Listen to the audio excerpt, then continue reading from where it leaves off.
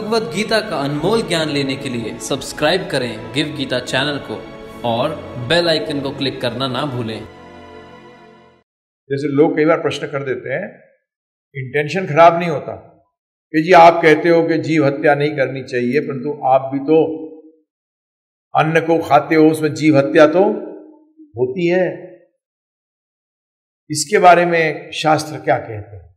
Challenge नहीं। Challenge करोगे तो कभी उत्तर प्राप्त नहीं होगा। पूछते हैं ना? कि भाई, जानवरों क्यों नहीं मार, क्यों क्यों मारते? अरे भाई, जीव हत्या है। तो अन्न खा रहे हो, उसमें जीव नहीं है? अन्न लगाओ, उगता है? नहीं उगता। आपने मारा। आप तो तो करी फिर शास्त्रों में उसके बारे में बताया गया कि इस हत्या से कैसे बच सकते हो।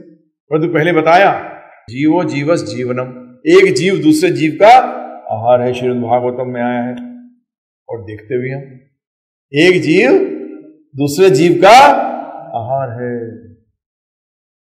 उसका मतलब जीव हत्या तो होगी ही।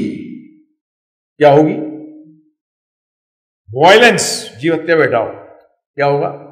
वॉयलेंस तो होगी ही। उसे से आप बच नहीं सकते। पहली चीज़ क्या करें?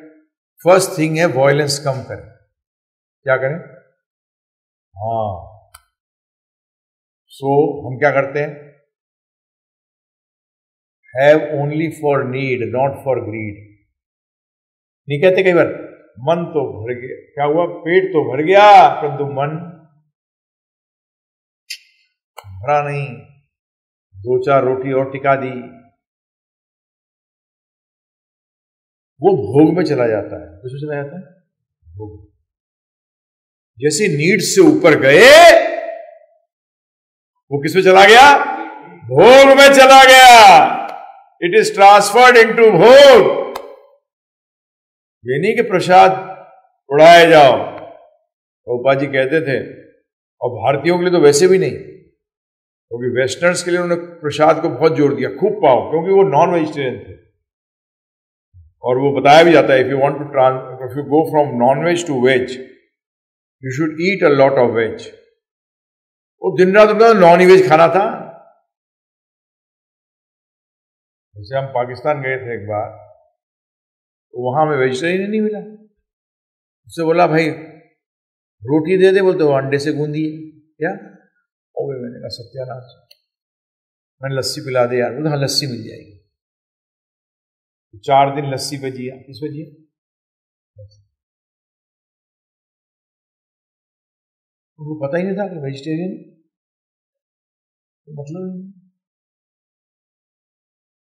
अब ऐसे व्यक्ति को जब ट्रांसफ़र करते हैं तो बोलते हैं तो खूब खिलाओ नहीं तो उसको क्या हो जाएगा? किसी ना किसी न्यूट्रिएंट की प्रॉब्लम आनी शुरू हो जाएगी। तो प्रोपा जी कहते थे, शुरू, खिलाए, यहाँ तक खाओ। तो फिर बाद में क्या लिखते हैं नेक्टर इंस्ट्रक्शन के अंदर? अब आहार को क्या करो? दिन भर नहीं, खाते फिर रहे। जानवर की तरह। जानवर भी नहीं खाता। कुत्ते का भी पेट भर जाता है, उसके बाद उसको, हम तो उससे भी गए गुजरे हैं। क्या है? उससे भी गए गुजरे हैं, खाते रहो दिन रात।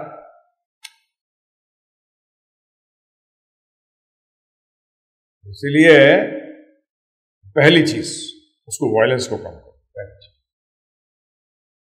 नंबर टू जो बच, जो ज़रूरत है, उसको भगवान को भोग लगाओ। क्या करो?